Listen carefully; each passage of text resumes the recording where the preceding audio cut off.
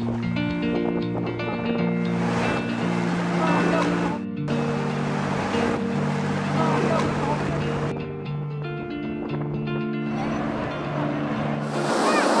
welcome to another episode of it's my life আমি সৌমিত্র, আপনাদের সবাইকে স্বাগত জানাই দীঘার সমুদ্র সৈকত থেকে। আজ আমি এসছি দীঘাতে। এখন আছি ওল্ড দীঘা। তো আগামী দুই দিন আমি এখানে চেষ্টা করব প্রত্যেকটা ট্যুরিস্ট স্পটগুলো আপনাদের সামনে তুলে ধরা। তো চলুন আমার সাথে এই ট্যুরিস্ট স্পটগুলো দেখার জন্য। সকালের দীঘা মানেই কিছুটা নিস্তব্ধতা আর অনেকটা ভালো লাগা। সকালে সূর্যের লাল আলো আর সমুদ্র থেকে ভেসে আসা ঠান্ডা বাতাস নতুন করে অক্সিজেন দেয়। দৈনন্দিন জীবনের যাবতীয় সমস্যাগুলোকে এক মুহূর্তে দূরে ঠেলে দিয়ে ভেসে যাওয়া যায় এই সমুদ্রের ঢেউয়ের সাথে।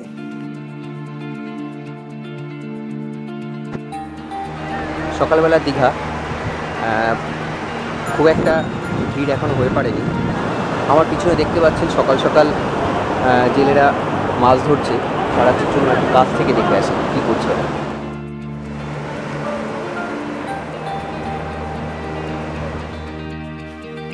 কিছুক্ষণ জাল গুছিয়ে নিয়ে জেলেরা তাদের নৌকা নিয়ে আবার পাড়ি দিল সমুদ্রের দিকে। দীঘার বিচের পাশে এখন সকালবেলা টিফিন করছি। টিফিন হচ্ছে কচুরি, হিঙের কচুরি বলছে, ছ পিস আপনাদের কুড়ি টাকা। তো এই পাশে হচ্ছে আপনার সমুদ্র, সমুদ্রের পাশে দাঁড়িয়ে দাঁড়িয়ে আপনারা এই হিঙের কচুরি আপনারা এনজয় করতে পারবেন। তো চলুন এই হিঙের কচুরি এনজয় করি, আর পরবর্তী আমাদের ট্রাভেল কন্টিনিউ করি।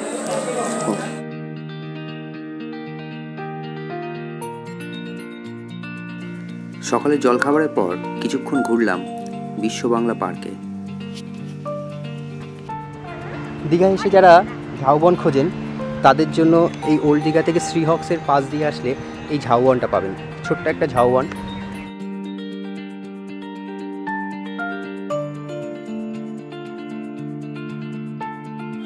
ওল্ড দীঘা থেকে এখন একটা রিক্সা ভাড়া করে নিয়ে যাচ্ছি আমরা মোহনার দিকে।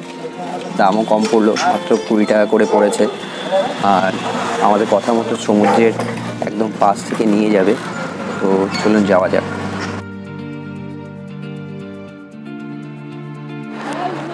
চলে এসেছি দীঘা মোহনাতে। দীঘা থেকে চার কিলোমিটার পথ। এখন আছি দীঘা মোহনাতে। এখানটা আসলেই যেটা দেখতে পাওয়া যায়, এখানকার জলটা, জলের রঙটা কেমন যেন আলাদা রকম হয়ে যায়। এক্স্যাক্টলি দীঘা মোহনা বলতে যে জায়গাটা নিয়ে আসে, সেটা হচ্ছে গিয়ে ওই জায়গাটা। আমরা হাঁটতে হাঁটতে ওখানটাই যাব।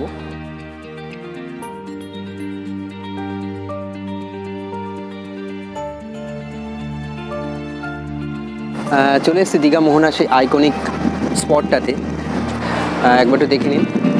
পিছন দিকটা দুই সাইড থেকে বড় বড় বোল্ডার ফেলে কিছুটা লম্বা রাস্তা করে নিয়ে যাওয়া হয়েছে। যখন জোয়ার হয়, তখন এই জায়গাগুলোতেই পুরো জলে ভর্তি হয়ে যায়।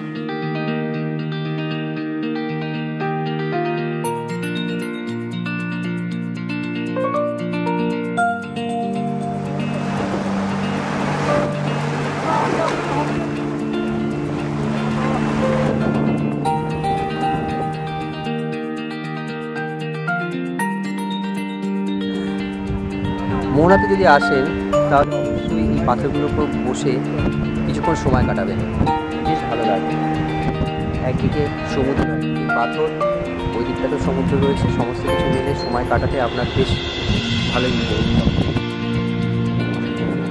ফেরার সময় আর রিক্সা করে নয়। মোহনা থেকে ওল্ড দীঘা পর্যন্ত পায়ে হেঁটেই রওনা দিলাম। সাথে প্রাপ্তি, সূর্যাস্ত। বিকালের ওল্ড দীঘা একদম অন্যরকম। প্রচুর দোকানপাট। আর মাছ ভাজা খেতে চাইলে তো কোনো কথাই নেই। পমপ্লেট ভেটকি, পাবদা, কি নেই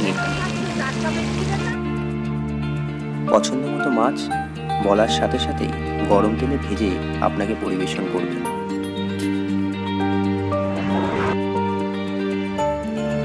রয়েছে হাজার রকমের কেনাকাটার দোকান। এখান থেকে পছন্দ মতো আপনি আপনার প্রিয়জনের জন্য কিছু জিনিস কিনে নিতেই পারেন।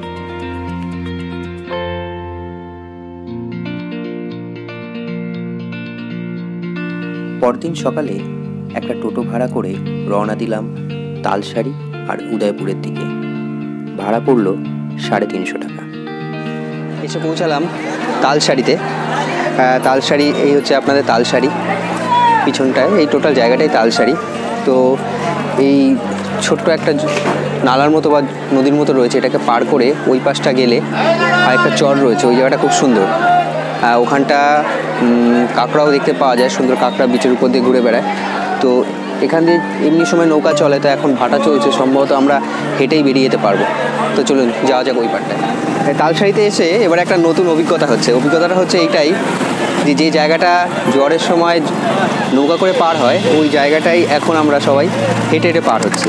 আমার সাথে আরও যারা যারা আছে, প্রত্যেকে এখান থেকে হেঁটে হেঁটে ওই পাশে যাচ্ছে। আর কিছু বাইক আছে, সেই বাইকগুলো তাদেরকে ওপার করে নিয়ে যাচ্ছে। তবে হেঁটে হেঁটে যেতে বেশ ভালোই মজা লাগছে।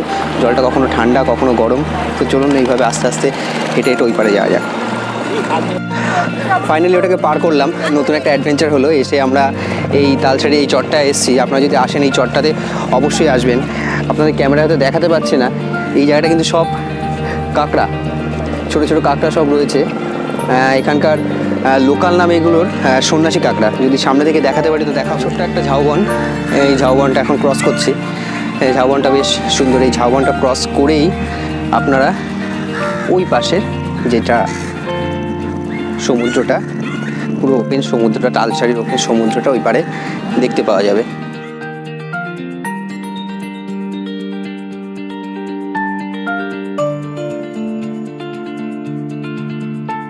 এটাই হচ্ছে তালসারির সমুদ্র।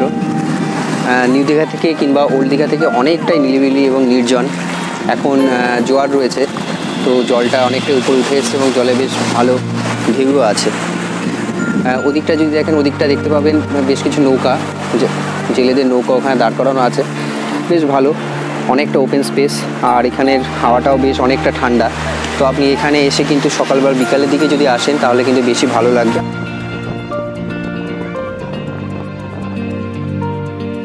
কিছু সময় তালসারিতে কাটানোর পর চলে এলাম এবার উদয়পুর বিচে এসেছি উদয়পুর সি বিচে এখানের পরিবেশ একদমই অন্যরকম। আপনি ভাবতেই পারেন যে আপনি পশ্চিমবঙ্গে নয়, আপনি হয়তো গোয়াতে রয়েছেন। কারণ এখানে একদম সমুদ্রের ধারেই টেন্টগুলো বসানো এবং সেই টেন্টে বসেই আপনি মাছ খেতে পারেন, মাছ ভাজা খেতে পারেন এবং অন্যান্য খাবার দাবার খেতে পারেন। এবং বেশ এনজয় করবেন, এটা একদম বলে দিতে পারি। এরকম এখানে সিনারিওটা কিন্তু একদম ওল্ড দীঘা বা নিউ দীঘার থেকে একদম অন্যরকম। বন্ধুদের সাথে এনজয় করার জন্য কিন্তু দারুণ একটা জায়গা এই উদয়পুর বিচ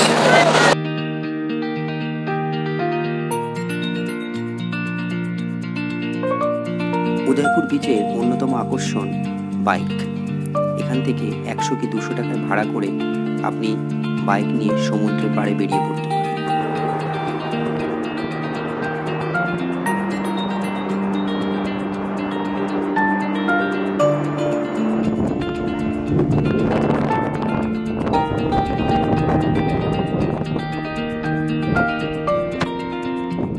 সত্যি একটা অসাধারণ এক্সপিরিয়েন্স লাগল এই বাইকটায় করে যেটা ভাড়া নিয়েছে মাত্র একশো টাকা, আমি বিচ থেকে প্রায় তালসারি কাজ করতে চলে এসেছি। তো এবার সময় বেশিক্ষণ ওরা দেয়নি, আমাকে আবার ফিরতে হবে। টোটালি দেড় কিলোমিটার রাস্তা, দুর্দান্ত এনজয় হলো, দুর্দান্ত।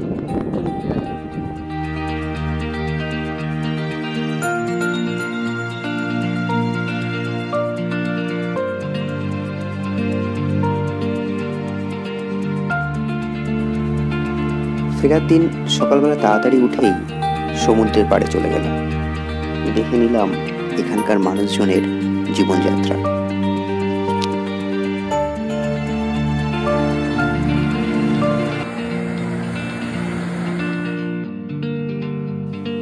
ছকবাঁধা জীবনের বাইরে কিছুটা অক্সিজেন নিয়ে এবার আবার নিজের বাড়ির পথে, আবার সেই একই কর্মময় জীবন।